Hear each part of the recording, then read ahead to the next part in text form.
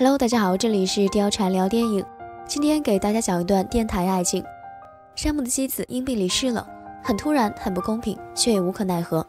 从那以后，他陷入了深深的悲伤。为了让自己能够好起来，他决定搬家。于是他带着儿子来到了西海岸的一个城市西雅图。这天是圣诞节，在巴尔的摩的女记者安妮要和自己的男友订婚了。今晚她要赶去华盛顿和男友的家人过圣诞。一路上，她开着电台广播。正准备更换频道的时候，一个小男孩的声音吸引了他。那是山姆的儿子乔纳。今天电台的主题是愿望与礼物。乔纳对着电台的主持人说：“希望能帮我的父亲山姆找一个新妻子。”在了解到山姆在痛失爱妻后一直郁郁寡欢，不愿与人接触，主持人提议让山姆本人接电话。山姆在得知儿子偷偷找到电台后很生气，但在主持人的劝说下，他变得耐心了起来，开始讲述着自己的经历。妻子去世一年半了。他还是一直处于低潮，没有一天晚上能够入睡。安妮听着听着不禁被吸引了。而这天晚上有关山姆的故事主题就叫做《西雅图夜未眠》。接着主持人询问山姆是否会再次爱上一个人，以后又有什么打算？山姆回答道：“这很难想象，我只打算每天睁眼呼吸，等待着时间的流逝。慢慢的，我不用提醒自己其实还活着，也不会想起有他的日子有多美好。”听到这里，安妮不禁落泪。主持人继续追问：“你的妻子魅力何在？”山姆说不清楚，但他却肯定地说道：“在和他相见的第一次，扶他下车，牵着他的手，他就知道有些人是命中注定的。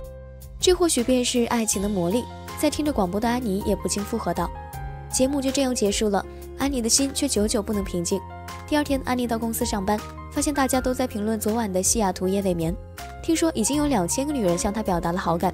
安妮在知道后，心绪不禁波动。她不停地劝说着自己，爱的是男友。可他却无时无刻都在想着那远在西海岸的山姆。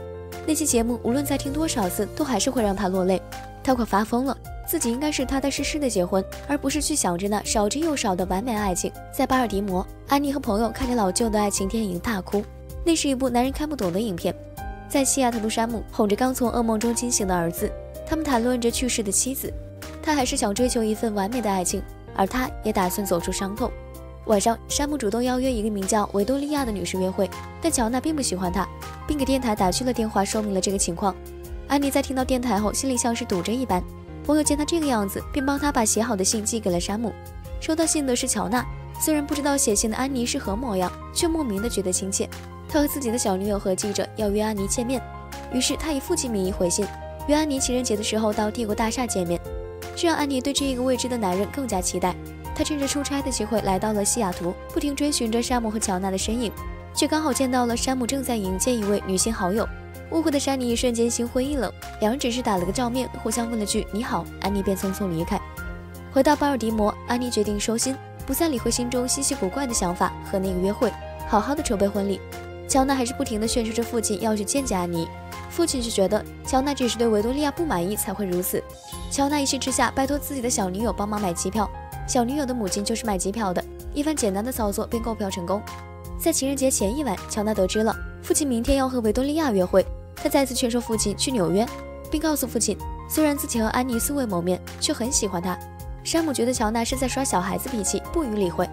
第二天一早，保姆来到家里，山姆准备出门，才发现乔纳不见了。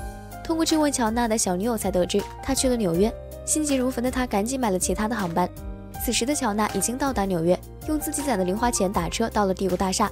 司机问道：“你是去吐口水的吗？”乔娜回答：“我去见新妈妈。”他上的观景台一个个的问着：“你是安妮吗？”却没人理他。乔娜只好坐在一边默默等着。而这边的安妮正在和男友约会，餐厅的位置正对着帝国大厦。她突然发现自己还是做不到留下遗憾，然后结婚。她向男友坦白了一切，男友也决定放手。天已经黑了，乔娜还在等安妮。担心的山姆终于赶到，他紧紧地抱起了儿子。安妮在和男友告别后，也打了一辆车赶到帝国大厦。可当他来到观景台，已经禁止进入。在一番哀求下，保安同意了让他进去。山姆刚好带着儿子坐上了下楼的电梯，安妮却刚好上来。观景台已经空无一人，安妮失落地逛了一圈，却发现了一个书包。她拿起来看的时候，乔娜和山姆回来了。书包是乔娜落下的。两人对视的那一刻，似乎真的有一股看不到的魔力。他们自我介绍了一番后，牵起了手，一起离开。一切都是如此的自然，似乎早有安排。原来确认爱情的到来并不需要轰轰烈烈，可能只是一个对视，一次牵手，一句话。